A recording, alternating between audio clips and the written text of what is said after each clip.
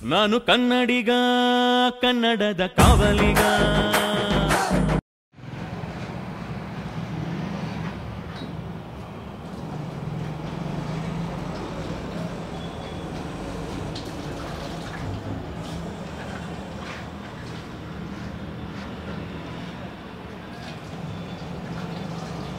ಅಣ್ಣ ಒಂದು ಟೀ ಕುಡಿ.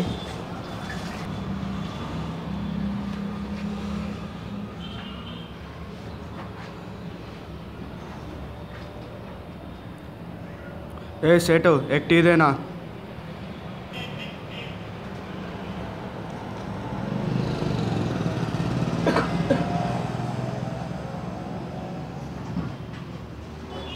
ನಮಸ್ಕಾರ ಅಣ್ಣ.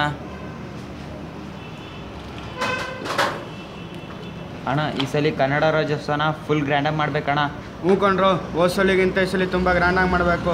ಅದಕ್ಕೆಲ್ಲ ನಿಮ್ಮ ಸಪೋರ್ಟ್ ಬೇಕು. ಬೈ ನಿಮ್ಮ ಹಬ್ಬಕ್ಕೆ ನಾನು ಸೇರಿಸ್ಕೊಳ್ಳಿ ಆ ಕನ್ನಡ ಪಾಠ ಸೇವೆ ಮಾಡೋಕ್ಕೆ ನನಗೂ ಅವಕಾಶ ಸಿಗುತ್ತೆ. ಲೋ ಸೇಟು ಫಸ್ಟ್ ಕನ್ನಡ ಮಾತಾಡೋದು ಕಲಿ ಆಮೇಲೆ ಕನ್ನಡ ಸೇವೆ ಮಾಡುವಂತೆ.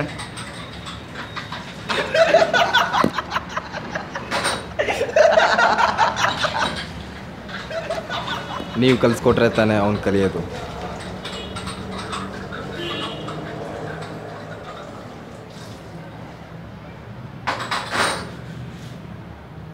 ಯಾರೋ ನೀನು ಅವನಿಗೆ ಕನ್ನಡ ಕಲಿಸ್ತಾ ಕೂತ್ಕೊಂಡ್ರೆ ನಮ್ಮ ಕೆಲಸ ನೀನು ಮಾಡ್ತೀಯಾ?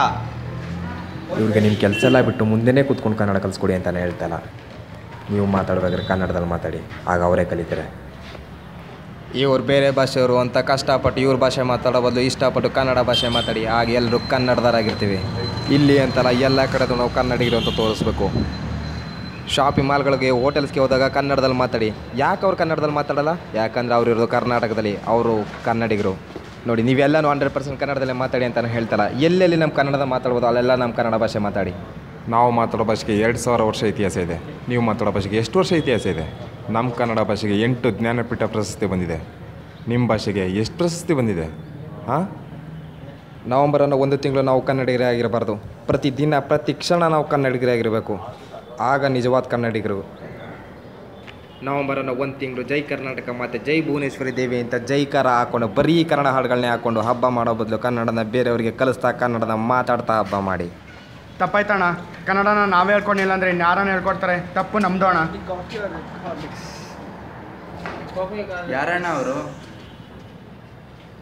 ನಾನು ಕನ್ನಡಿಗ ಕನ್ನಡದ ಕಾವಲಿಗ.